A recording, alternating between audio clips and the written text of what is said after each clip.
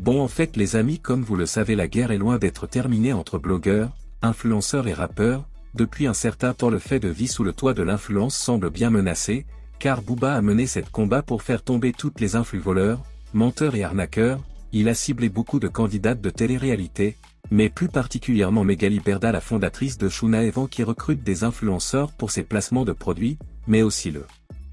Duc de Bologne n'exclut pas Poupette Kenza de ses révélations, et ce dernier souvent accusé ne cesse de répondre, mais aujourd'hui elle a décidé de rester en cachette après ses dernières embrouilles avec le blogueur Aquabab,